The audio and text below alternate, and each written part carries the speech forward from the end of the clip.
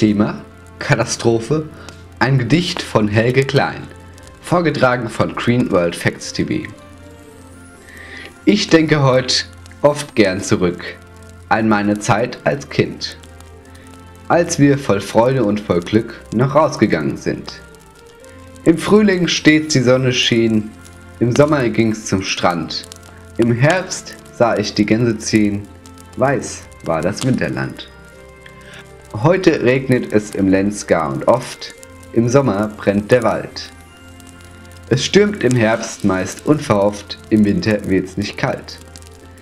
Ich habe drüber nachgedacht, ist nicht der Mensch selbst schuld? Er hat die Welt kaputt gemacht mit seinem Fortschrittskult.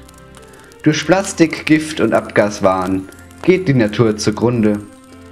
Ohne den Umweltschutz nach Plan schlägt bald der Welt die letzte Stunde. Seid dir bewusst, du Konsument, dein Einsatz ist vonnöten. Soll sich die Menschheit nicht am Ende durch eigenes Tun selbst töten. Ach, wie schön war doch früher alles. Früher war alles besser. Früher waren die Winter noch kälter. Früher war das Meer noch plastikfrei. Früher hatten wir sauren Regen. Auch früher gab es schon Umweltkatastrophen. Jedoch häufen sich heute die Probleme. Plastikverschmutzung, Wilderei, Klimawandel und, und, und.